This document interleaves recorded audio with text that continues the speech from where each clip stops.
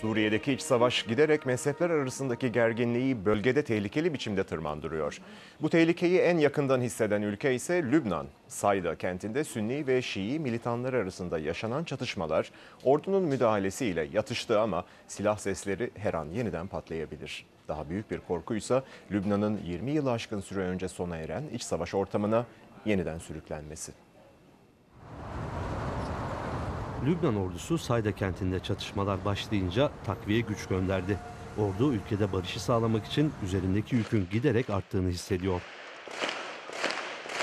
Sayda'da bir tarafta mezhep gerginliğini körüklemekle suçlanan radikal bir Sünni din adamı ve ona bağlı silahlı adamlar var.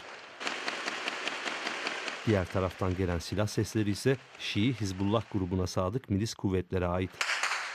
Sünni Şii fay hattı Sayda'nın ortasından geçiyor. Suriye'de iç savaşın yarattığı mezhepler arası gerginlik, komşu Lübnan'ın Şii ve Sünni toplumlarına da korku ve nefret duygularıyla sirayet ediyor.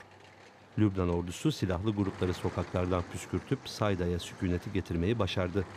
Ama bu çatışmaların yeniden alevlenmeyeceğini garanti etmiyor. Lübnan'da ne zaman bu tip bir gerginlik yaşansa iç savaş kabusuna yeniden sürüklenebileceği endişesi su yüzüne çıkıyor.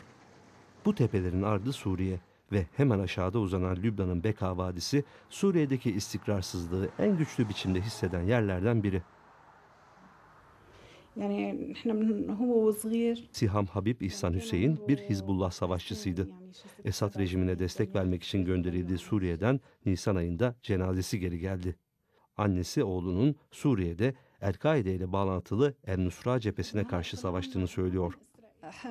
Karşımızda İsrail'den daha önemli bir sorun var. El Nusra cephesi. Hizbullah lideri Hasan Nasrallah, Beşar Esad için hayati önemde bir müttefik. Hizbullah Suriye'de çok sayıda adamını kaybetti. Ama yıllarca İsrail karşısında savaş tecrübesi kazanmış olan Hizbullah militanları Suriye'deki isyancıları püskürtmeyi başardı. Hizbullah müttefiki Şii İran'ın ve Suriye'nin Alevi Cumhurbaşkanı Beşar Esad'ın nüfuzunu kaybetmemesine büyük önem veriyor. Suriye'deki savaş bir mezhep çatışması olarak başlamadı ama hızla buna dönüşüyor. Ve komşu Lübnan'ın hastanelerinde bile Suriye'deki gerginliğin bir ayna gibi yansıdığını görüyorsunuz.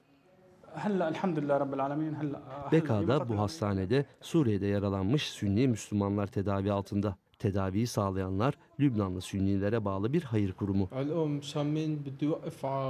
Özgür Suriye ordusunun üyesi olan bu Sünni savaşçı yüzünün gösterilmemesi kaydıyla konuştu. Hizbullah'a bağlı bir keskin nişancı tarafından vurulduğunu anlatırken Suriye'deki savaşın Ürdün, Irak ve Lübnan'ı etkisi altına alarak hızla yayıldığını söylüyor. Lübnan'daki barış farklı dini kesimler arasındaki çok hassas dengelerin bozulmadan korunmasına bağlı. Ama Suriye'deki savaş bu dengeyi çoktan bozmuşa benziyor.